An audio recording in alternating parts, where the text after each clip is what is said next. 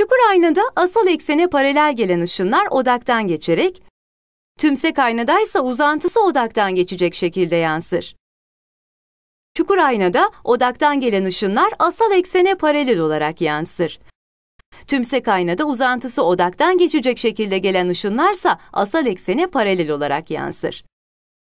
Çukur aynada merkezden gelen ışınlar kendi üzerinden, tümsek aynada ise uzantısı merkezden geçecek şekilde gelen ışınlar kendi üzerinden yansır.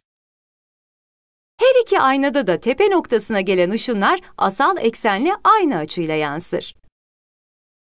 Çukur aynada 3F'den gelen ışın 1,5F'den geçerek yansır. Tümsek aynada ise uzantısı 3F'den gelen ışınlar uzantısı 1,5F'den geçecek şekilde yansır.